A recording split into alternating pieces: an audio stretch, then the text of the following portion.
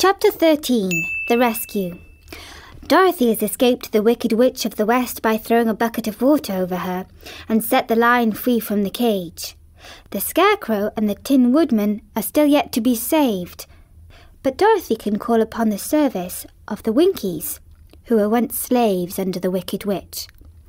Let's see if they can help her. The Cowardly Lion was much pleased to hear that the Wicked Witch had been melted by a bucket of water, and Dorothy at once unlocked the gate of his prison and set him free.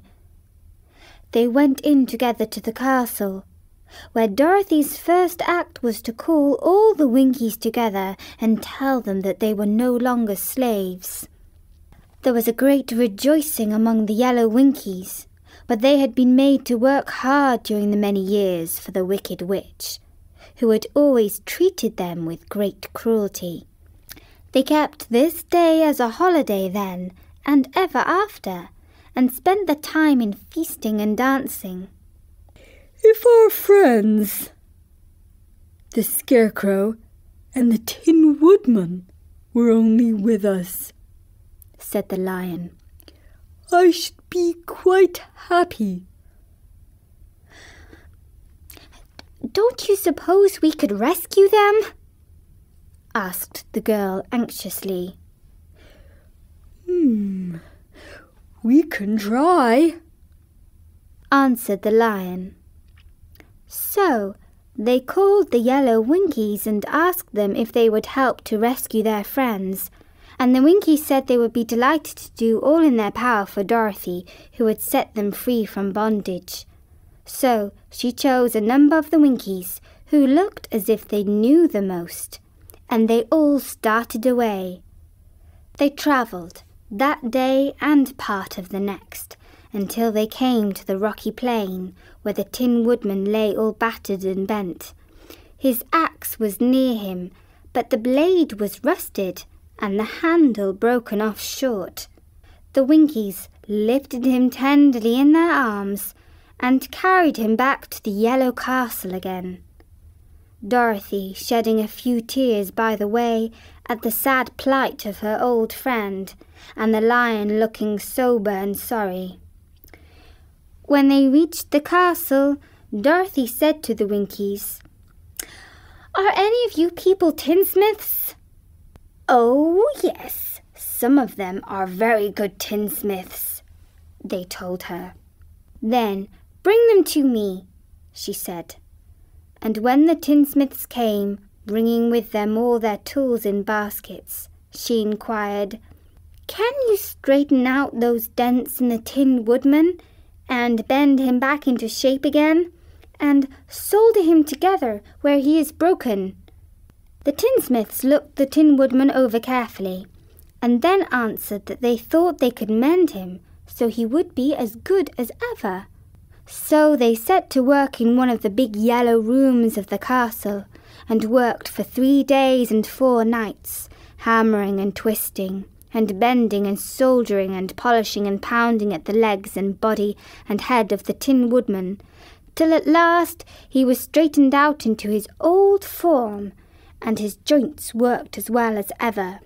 To be sure, there were several patches on him, but the tinsmith did a good job, and as the woodman was not a vain man, he did not mind the patches at all. When at last he walked into Dorothy's room and thanked her for rescuing him, he was so pleased that he wept tears of joy, and Dorothy had to wipe every tear carefully from his face with her apron so his joints would not be rusted. At the same time, her own tears fell thick and fast at the joy of meeting her old friend again, and these tears did not need to be wiped away. As for the lion, he wiped his eyes so often with the tip of his tail that it became quite wet, and he was obliged to go out into the courtyard and hold it into the sun until he dried. If we only had the scarecrow with us again, said the Tin Woodman when Dorothy had finished telling him everything that had happened. I should be quite happy. We must try to find him, said the girl. So she called the Winkies to help her, and they walked all that day and part of the next until they came to the tall tree in the branches of which the winged monkeys had tossed the scarecrow's clothes. It was a very tall tree, and the trunk was so smooth that no one could climb it. But the Tin Woodman said at once, I'll chop it down, and then we can get the scarecrow's clothes. Now, while the tinsmiths had been at work mending the woodman himself, another of the Winkies, who was a goldsmith, had made an axe handle of solid gold and had fitted it into the Tin Woodman's axe instead of the old broken handle. Others polished the blade until all the rust was moved and it glistened like burnished silver. As soon as he had spoken, the Tin Woodman began to chop, and in a short time the tree fell over with a crash, when the Scarecrow's clothes fell out of the branches and rolled off onto the ground. Dorothy picked them up and had the Winkies carry them back to the castle, where they were stuffed with nice clean straw. And behold, here was the Scarecrow, as good as ever, thanking them over and over again for saving him.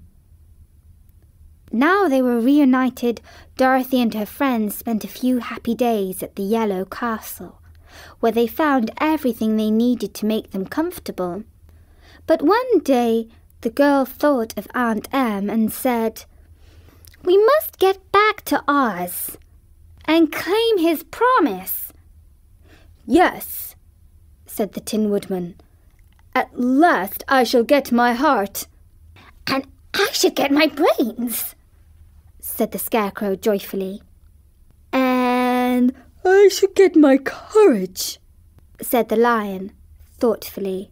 And I shall get back to Kansas, cried Dorothy, clapping her hands. Oh, let us start for the Emerald City tomorrow. This they decided to do. The next day they called the Winkies together and bade them goodbye. The Winkies were sorry to have them go, and they had grown so fond of the Tin Woodman that they begged him to stay and rule over them and the yellow land of the West. Finding they were determined to go, the Winkies gave Toto and the Lion each a golden collar, and to Dorothy they presented a beautiful bracelet studded with diamonds. And to the Scarecrow they gave a gold headed walking stick to keep him from stumbling.